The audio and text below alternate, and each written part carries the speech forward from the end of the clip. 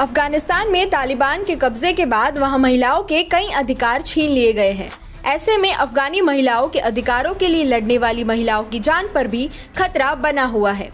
20 अक्टूबर को खबर आई कि तालिबान ने अफगान की वॉलीबॉल प्लेयर महजबीन हकीमी का सर कलम कर दिया।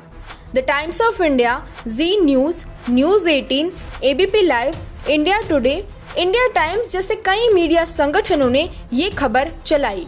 इसके अलावा आरएसएस का मुखपत्र, ऑर्गेनाइजर और बीजेपी समर्थक वेबसाइट, ऑप इंडिया भी ऐसा करने वालों की लिस्ट में शामिल है। कुछ बॉलीवुड कलाकारों और प्रमुख चेहरों ने भी ऐसा दावा करने वाली रिपोर्ट्स शेयर की। कई मीडिया संगठनों ने इंडिपेंडेंट पर्शियन के हवाले से ये खबर चलाई थी। मूल रिपोर्ट में वॉलीबॉल टीम के कोच के हवाले से बताया गया था कि महजबीन की हत्या अक्टूबर की शुरुआत में ही कर दी गई थी। लेकिन उसके परिवार को मिल रही धमकियों के कारण ये मामला दबा रहा। अफगान के कुछ पत्रकारों ने भी ये दावा किया, जिसमें मसूद हुसैनी और अफगान के मीडिया आउटलेट टोलो टीवी से जुड़ी पत्रकार नादिया नायाब शामिल है। तो क्या वाकई में तालिबान ने वॉलीबॉल प्लेयर महजबिन हकीमी का सर कलम कर दिया? इस सवाल का जवाब है नहीं। महजबिन हकीमी की मौत को लेकर छपी रिपोर्ट्स पर कई सोशल मीडिया यूज़र्स ने सवाल उठाए। उन्होंने बताया कि महजबीन की मौत काबुल पर तालिबान के काबिज होने से पहले ही हो गई थी। पत्रकार दीपा पेरेंट ने महजबीन के परिवार वालों के हवाले से ट्वीट किया था कि महजबीन की मौत की खबर भ्रामक है।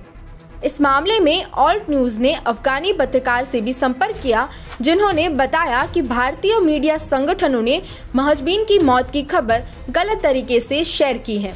उन्होंने कहा कि परिवार वालों ने महजबीन के मंगेतर के घर वालों पर आरोप लगाया था कि उन्होंने महजबीन को मार डाला है और इसे ऑनर किलिंग का मामला बताया। लेकिन महजबीन के ससुराल वालों ने बताया कि उसने आत्महत्या की थी। आगे ऑल्ट न्यूज़ को महजबीन के भाई स्कंदर हकीमी की फेसबुक प्रोफ़ाइल मिली। स्कंदर ने 7 अगस्त को फेसबुक प्रोफ़ाइल में चेंज कर काली तस्वीर लगाई थी। इस तस्वीर पर कई लोगों ने पर्शियन भाषा में कमेंट्स करते हुए शोक व्यक्त किया था। स्कंदर की प्रोफ़ाइल खंगालने पर हमें उनके एक रिश्तेदार के बारे में मालूम हुआ। यहाँ से हमें मालूम चला कि 2020 में महजबीन की माजिद खान से सगाई हुई थी। तब से वो काबुल में अपने ससुराल वालों के साथ रहती थी। रिश्तेदार ने बताया कि महजबीन को अमेरिका से स्कॉलरशिप मिली थी और इसी वजह से उसकी ससुराल वालों से बहस होती रहती थी। ऑल्ट न्यूज़ ने महजबीन के मंगेतर से भी संपर्क करने की कोशिश की, लेकिन हमें कोई जवाब नहीं मिला। हमें महजबीन के रिश्तेदार के ज़रिए महजबीन की कब्र की एक तस्वीर मिली। तस्वीर में कब्र पर महजबीन का नाम और पर्शियन कैलेंडर के हिसाब से उसकी मौत की तारीख लिखी है। इस तारीख को इंग्लिश कैलेंडर के हिसाब से देखें तो मौत की तारीख 6 अगस्त मिलती है। कुल मिलाकर हमने अपनी जाँच में पाया कि महजबीन हकीमी की मौत या तो आत्महत्या से हुई या उसके ससुराल वालों का इसमें कोई हाथ था। लेकिन इतना तो साफ़ है कि तालिबानियों द्वारा उसका सर कलम किए जाने का दावा सही नहीं है।